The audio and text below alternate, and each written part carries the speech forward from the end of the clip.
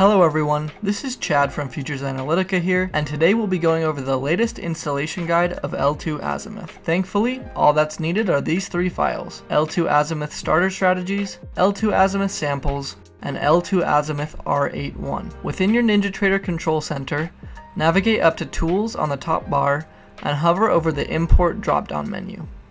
From here, just select NinjaScript add-on. Then, when your files pop up, Select one of the three files and click yes through any menus that pop up.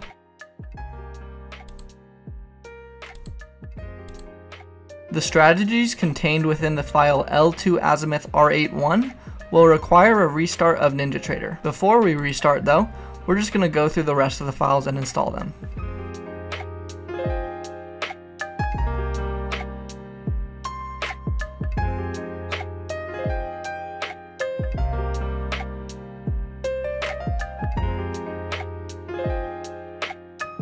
And just like that, everything should be fully set up upon restarting NinjaTrader.